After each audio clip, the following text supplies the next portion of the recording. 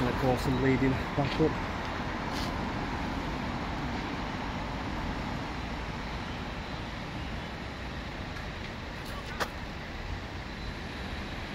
Wonder if it is an accident or it's just burst into flames. I think it's just burst into flames on it.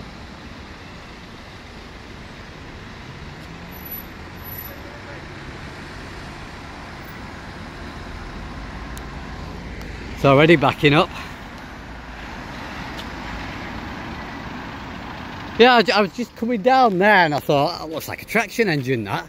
I thought, oh, I'll get it going under here. But then I thought, well, how can it be a traction engine going down towards the motorway? I know, yeah. Oh, if it's only that, oh, fair enough. See you again.